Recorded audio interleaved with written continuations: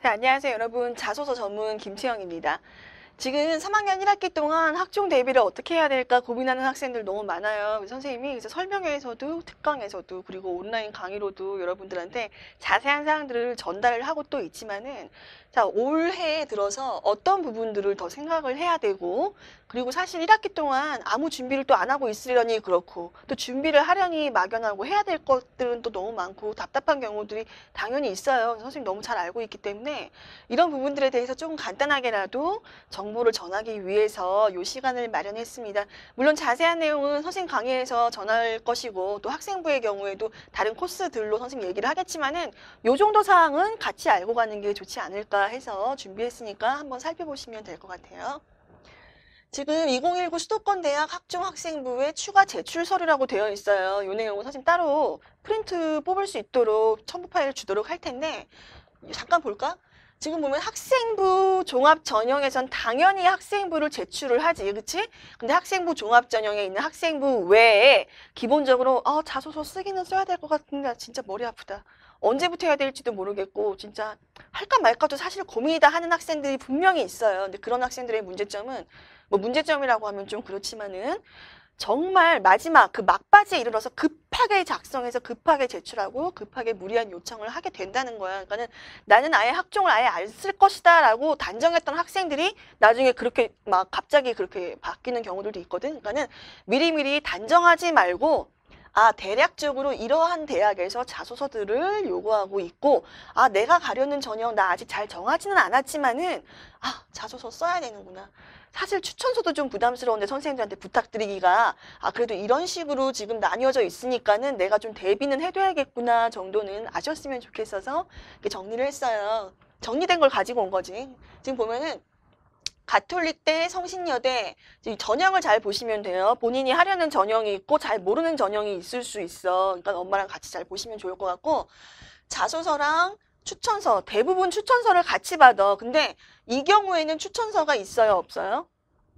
추천서가 없어.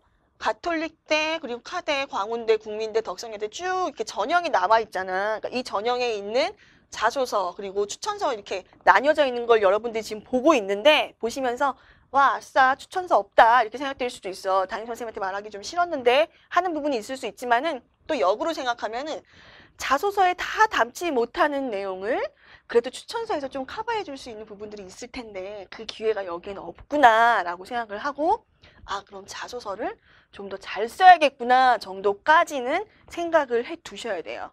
그 정도를 알고 넘어가는 것과 아예 모르고 그냥 막 준비하는 건 좀 차이가 있잖아. 그래서 선생님 가지고 온 건데 여기도 마찬가지야. 한양대는 제출 서류가 없어. 학생부만 평가하기 때문에 한양대 제출하는 학생들의 경우에는 조금 더 부담 없이 준비를 할 수는 있겠죠. 이런 건 참고를 해보시고요. 그 다음에 이제 상위 17개 대학교 어, 추가 제출 서류에 대해서도 같이 보여드리도록 할게요. 지금 보면은 같은 학교라고 하더라도 조금 달라질 수 있는 부분들이 있으니까는 전체적으로 살펴보시도록 하고, 어, 대부분 자소서랑 추천서가 있구나. 어, 건대 이러이러한 전형이 있었어? 고대? 아, 나 이 중에 어떤 거 가야 되지? 이제 머리가 복잡해지는 지점이 분명히 있을 수 있어.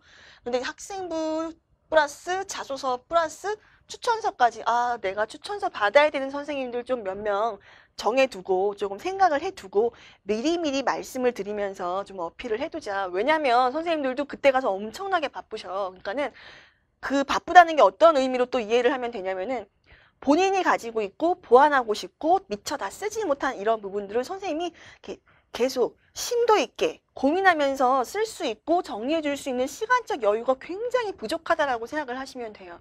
그래서 미리미리 어필하고 싶은 거. 생기부 봐가면서 선생님 저 이거 조금 자소서 다 녹여내기가 힘들 것 같은데 추천서에 넣어주실 방법이 없을까요? 등등을 계속 얘기를 하는 게 참 좋을 건데 이제 현실적으로 또 개인적으로 상황이 다 조금씩 다를 거예요. 근데 대략적으로 아 이러한 부분들은 내가 알고 있어야겠구나 정도로 이해를 하시면 되겠고요. 자 건대 그러면 추천서 미제출 대학 이렇게 나와 있잖아. 고대 고대가 다가 아니야. 그러니까는 전형별로 다르기 때문에 요 전형을 잘 보시면 좋겠어요. 단대, 동대, 인하대, 외대까지 아 이러이러한 전형에서는 내가 아 자소서만 쓰면 되겠구나 정도까지도 확인을 해 두시고 아 아까 선생님이 얘기했던 것처럼 어 추천서 없이 자소서만 쓸 때에는 내용이 그래도 더 풍부하게 그리고 구체적으로 심도 있게 억울한 일 없도록 좀 많이 녹여내야겠구나 정도로 그 정도까지도 생각을 해두시면 너무너무 좋겠지. 자, 제출 여부 선택 가능 대학 여기를 잘 보셔야 돼요. 자, 경희대, 성균관대 요 전형에서는 지금 선택이라고 되어 있는데 여기서 갈등을 하실 필요는 없어요. 선택이라는 거는 안 냈을 때 떨어진다는 얘기는 아니잖아. 하지만은 냈을 때 더 유리하다. 그러니까 기본적으로 추천서까지는 다 최대한 생각을 해두자. 라고 말씀을 드리고 싶어요. 자, 한양대 아까 안 낸다고 했고 서울대, 숙대 등등 이 전형별로 여러분들이 한번 잘 살펴보세요. 또 선생님이 첨부 파일 같이 드릴 테니까는 화면으로 이제 빨리빨리 넘어갔던 부분들이 있을 것이고 선생님이 이제 바쁜 시기 여러분들 바쁜 시기 핵심만 빨리 전하려고 이렇게 속도를 낸 부분도 분명히 있어. 그러니까는 첨부 파일 통해서 확인을 하고 입학처 통해서도 확인을 하면서 1학기 동안에는 최대한 정보를 많이 이렇게 확보해두는 그런 시기라고 생각을 하시면 되고요. 선생님이 이제 학생부는 그럼 어떻게 점검해야 되나요? 문항별 초안이라든가 개요라든가 이런 거 굳이 또 써야 되나요? 빨리빨리 해야 되는데 고민이 많아요 등등 이런 거 너무 잘 알고 있기 때문에 올해에도 꼭 필요한 사항들은 선생님이 캐스트 통해서 그때그때 좀 부지런하게 알려드릴 수 있도록 할게요. 여러분들 질문사항 있으시면 알려주시고요.